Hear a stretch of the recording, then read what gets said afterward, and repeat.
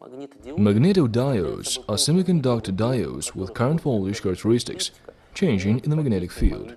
In conventional semiconductor diodes, the thin base and the magnetic field slightly modify the current voltage characteristics. But magnetodiodes have a thick, long base in which the length of the current path is much larger than the diffusion length of carriers injected into the base.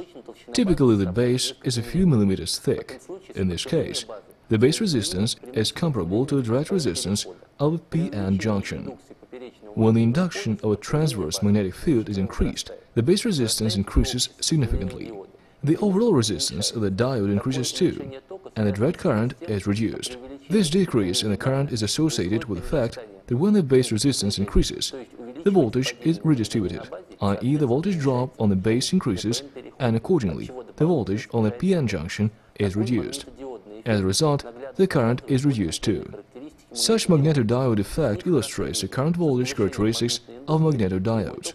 It clearly shows that the increase of magnetic induction causes the direct current to decrease. It should be noted that magnetodiodes are characterized by much higher direct voltage than conventional diodes due to high base resistance. Magnetodiodes are based on semiconductors with the greatest possible mobility of carriers. Magnetodiodes are often manufactured with a structure of PIN. The elongated I part has a considerable resistance and there emerges a pronounced magnetoresistive effect. Magnetodiodes have high sensitivity to changes in magnetic induction that Hall effect sensors. Magnetodiodes are widely used in various spheres, in non-contact buttons and keys for information input, as sensors of moving objects, to read magnetic information record, to measure and control various non-electrical values.